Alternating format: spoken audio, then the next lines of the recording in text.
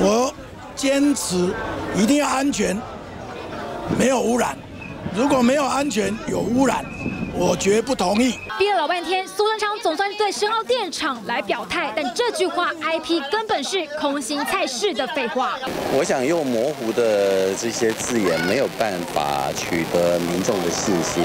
这些候选人一定要说清楚、讲明白。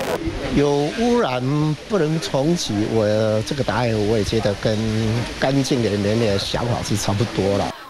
侯友谊左右猛攻，紧咬苏贞昌，对神明说谎，对人民也说假。绿营诸侯变中央地方夹心饼，深澳电厂成了苏贞昌在新北的最大挑战。跟干这个安全无污染了，那不如不要说。所以有能难怪很多人就会觉得，怎么这这年头啊，从行政院长到这个民进党这些呃王爷千岁的这个要角啊，都喜欢说干话。他是要。